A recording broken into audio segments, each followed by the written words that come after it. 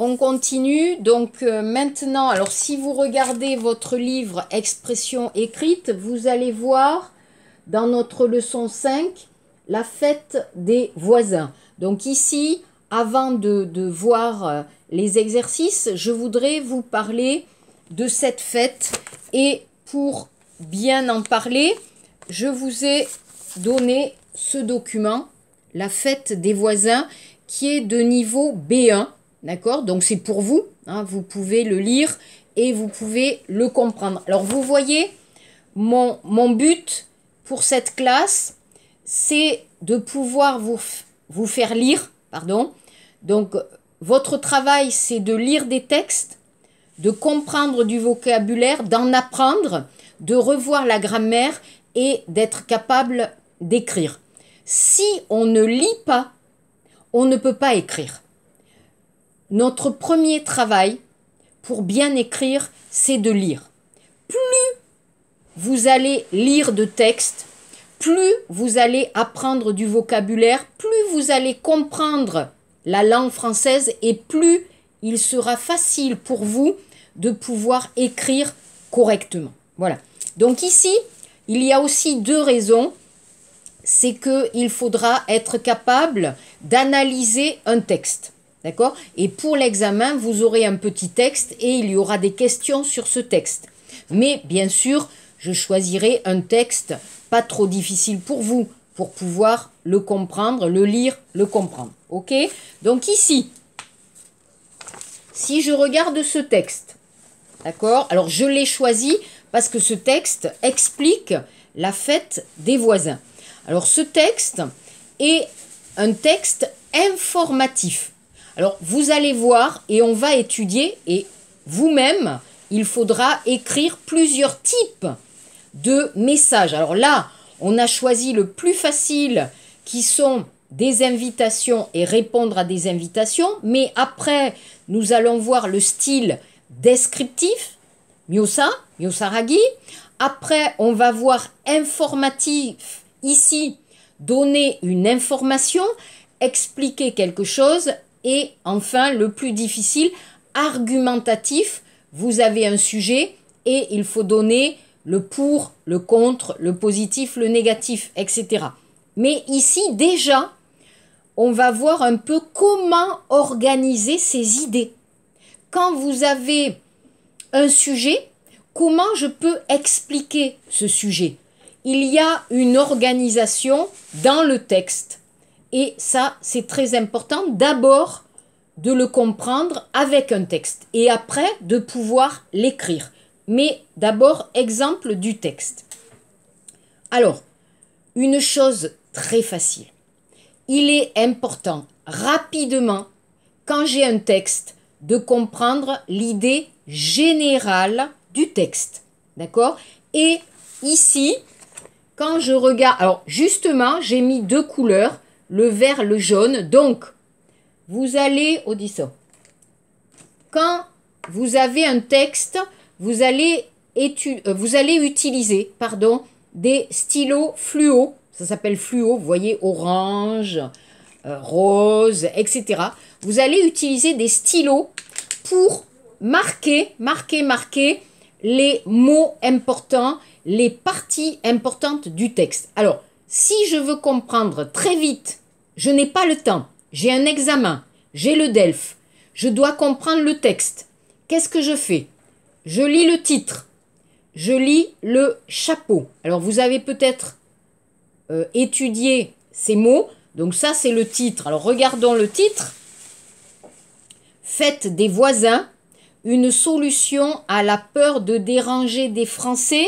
Donc, ça c'est difficile. Vous avez dans le titre, vous avez une question. Donc pourquoi La question c'est pourquoi les Français ont créé cette fête des voisins? Pourquoi? Avant, il n'y avait pas de fête des voisins. En Corée, il n'y a pas de fête des voisins. Pourquoi? Pourquoi? Peut-être parce que les Français ont du mal à parler avec les voisins et souvent les Français sont un peu timides et ne veulent pas déranger. D'accord? Donc peut-être la raison et que souvent on a peur de dire bonjour, comment ça va, on a un peu peur. Donc peut-être la solution à la peur de déranger, c'est cette fête. Mais question, d'accord? C'est une question. Donc ici, c'est vrai, ce n'est pas facile pour vous de comprendre un peu le mental des Français. Le mental, Zhongxin, le mental des Français n'est pas direct. On ne va pas parler directement. Par cette question, on peut comprendre peut-être que les Français... Alors, vous rencontrez des Français, vous me rencontrez, vous allez penser, waouh, hein, les Français ne sont pas timides, les Français aiment bien parler, les Français sont bavards. Non, ce n'est pas vrai. Ce n'est pas vrai. Nous sommes un peu froids, d'accord? Et finalement, un peu timides. Et nous n'aimons pas beaucoup parler euh, de certaines choses. Donc attention, attention aux images comme ça. Oh, les Français sont bavards, blablabla. Oui, on est bavard, oui, mais on est timide aussi. Donc pour vous expliquer un peu le, le caractère des Français. Le chapeau. Le chapeau, c'est ça, ici. Alors, alors chez vous, si vous ne comprenez pas, vous essayez de chercher le vocabulaire. Je ne peux pas tout expliquer. Votre travail aussi est de lire et de chercher du vocabulaire. Moment de convivialité entre habitants d'un même quartier. La fête des voisins se célèbre au mois de mai. Une belle occasion pour des Français qui disent avoir besoin de proximité. Donc on va analyser cette partie. Dans cette partie, il y a tout tout ce qui est important à comprendre. Tout. Donc le secret n'est bimil. Hein? Le secret, ma méthode n'est bambok. Si vous pouvez bien comprendre le titre et le chapeau, vous comprenez la plupart du texte. Ok Alors, ici, on parle de quoi? Le sujet, c'est moque, la fête des voisins. Pourquoi cette fête, elle est née? Pourquoi? Pour ne pas... Alors, on a deux idées. Pourquoi cette fête? Deux idées. Dans le titre, ne pas déranger. Et deuxième idée, euh, aussi, euh, les Français ont besoin de proximité. D'accord? Donc, ils ont... Alors, qu'est-ce que c'est ici la proximité? C'est-à-dire être proche. D'accord? Tinan. Tinada. Hein? D'accord? Donc, on a deux idées. Les Français ont trop peur de déranger et en même temps, les Français, ils ont besoin d'être avec les autres. Donc pour ces deux idées, on a créé la fête des voisins. La fête des voisins, qu'est-ce que c'est? Qu'est-ce que c'est cette fête? Ben, C'est un moment de convivialité, nanougi, de partage. Avec qui? Qui? Les habitants d'un même quartier. Alors là, on va comprendre que c'est pas, alors par exemple, toute la ville de Dégout se rencontre, non. Vous avez euh, des quartiers où vous avez votre appartement, hein, vous avez votre appartement, et devant l'appartement, on va organiser une fête. C'est tout. D'accord? Par le quartier, par les immeubles, automne building, hein, automne on va organiser la fête des voisins. Quand? Au mois de mai. Alors pourquoi mai? Simple. Le printemps, ok, et beau temps. L'hiver, impossible. L'automne aussi. L'été, trop chaud. Les vacances, le printemps, c'est parfait. Je peux sortir. Alors, imaginez dans un appartement. On ne peut pas organiser la fête dans un appartement. Donc, à l'extérieur, paquet, devant les appartements, vous pouvez mettre des tentes, tentes, et vous pouvez organiser la fête des voisins. Donc, encore une fois, pourquoi Pourquoi on fait cette fête? La raison, you, one c'est parce que les Français ont besoin de contact de communication euh, avec les autres. D'accord? Alors, voilà, déjà, avec le titre et ça, j'ai compris à peu près pourquoi il y a cette fête, avec qui, quand, comment, j'ai compris. J'ai tout compris. Donc ça, c'est important. Très important pour vous, pour comprendre assez vite. On ne peut pas tout comprendre. Ça, c'est pas possible. Alors, ensuite, vous voyez ici un titre, un titre, un titre, et derrière, un autre titre. Donc ici, il y a quatre parties. Il y a quatre parties où on va dire sous-titres. Vous connaissez le mot titre, c'est important, c'est grand, c'est gros. Dans le texte, vous avez des petites parties avec des sous-titres qui vous expliquent chaque partie. Regardons. Donc, analysons ces parties. Ici, vous avez les Français et leurs voisins. Première partie, les causes. Wanin. Quelle est la relation entre les Français et leurs voisins? Les Français veulent plus de rencontres. Pas. Alors, pourquoi Pourquoi ils veulent plus de rencontres entre les voisins? Pas pour demander quelque chose, mais seulement pour se connaître. D'accord? Parce que le problème, alors deux problèmes, la solitude et aussi la peur de déranger. On a peur de dire, alors, vous avez le voisin, toc toc toc, bonjour monsieur, je m'appelle euh, Madame Coyer, est-ce qu'on peut se rencontrer? Non. Pour les Français, c'est un peu bizarre. Donc, cette fête permet de se rencontrer. Numéro 2. Ici, vous avez, d'accord Un peu d'histoire. Donc, on va expliquer l'histoire de cette fête. Naissance 1999. Par qui? Athanase Périfan. Ou à Paris. Quel quartier? 17e. Objectif? Mokchok, rencontrer ses voisins. Lutter contre l'isolement. Alors vous, vous connaissez le mot solitude, être seul. Hein, et donc seul, on peut dire aussi en français isolé. À Paris et dans les grandes villes, il y a beaucoup, beaucoup de solitude et beaucoup de personnes seules. Qui? Personnes âgées, Chine. Personnes divorcées. Maman seule, single mom. Ou célibataire. Ou étudiant étranger, etc. Donc, l'objectif, c'est de pouvoir partager un moment ensemble pour apprendre à se connaître et euh, pour parler, pour discuter. C'est tout. Hein voilà. Alors, vous avez bien sûr ici, donc on va parler d'histoire, donc on va donner des chiffres. Vous comprenez que cette fête a commencé en 1999 et qu'elle s'est développée, développement où? En France, dans plusieurs villes de France, mais aussi en Europe et dans d'autres pays. On vous donne quoi? L'Europe, la Belgique, pays francophones, mais aussi au Canada, en Turquie et dans des centaines de villes européennes. Donc vous voyez que ce phénomène maintenant est un peu européen, mais aussi international. Ensuite, troisième partie, quand? Alors, c'est-à-dire à quel moment?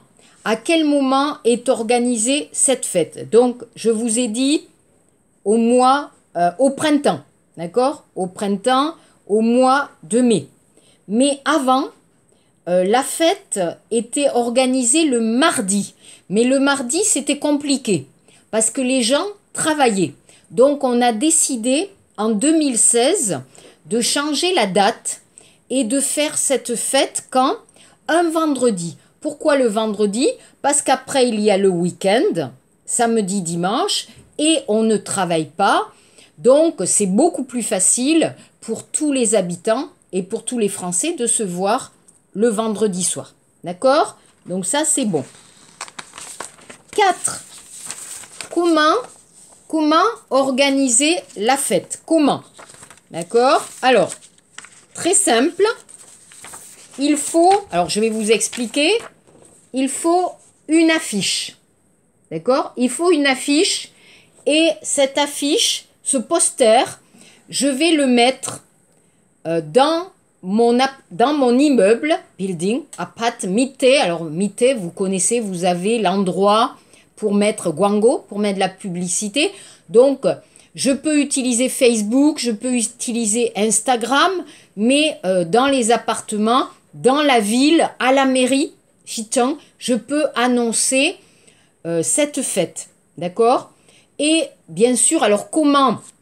Par la publicité. Et qu'est-ce qu'on fait? Par exemple, on va demander à chaque voisin de préparer quelque chose. D'accord? Alors bien sûr, euh, c'est gratuit, mais euh, il faut préparer quelque chose. Alors par exemple, moi, je vais préparer euh, des pizzas. Mon voisin va préparer des desserts. Mon autre voisin va préparer de, des boissons, etc. Donc ensemble, avec les voisins, on va organiser la préparation. On va peut-être utiliser de la musique, un disjockey, etc., etc. Vous voyez? Et ici, vous voyez euh, par exemple, regardez, donc fête des voisins, vendredi 29 mai 2015, au cave du château. Alors là, on organise dans un lieu spécial, l'heure de 19h à 22h ou plus.